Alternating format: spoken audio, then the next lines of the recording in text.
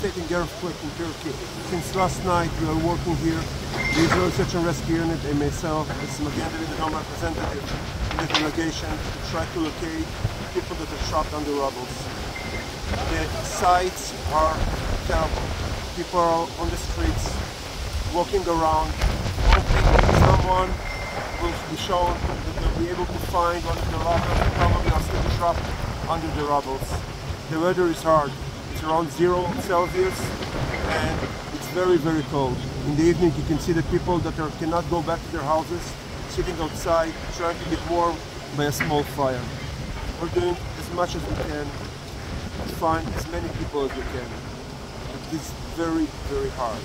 But hope to save more lives during the next few hours.